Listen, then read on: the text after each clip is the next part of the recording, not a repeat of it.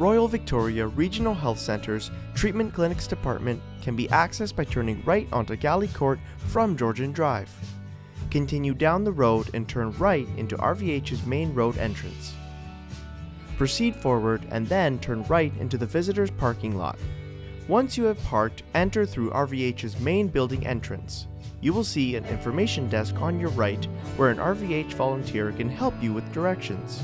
Or continue straight following the green navigation line toward the Simcoe Muskoka Regional Cancer Center, which will be located on your left. Once inside, continue forward down the hallway past the Cancer Center elevators toward the registration desk. You can register at either desk A or B for the treatment clinic department.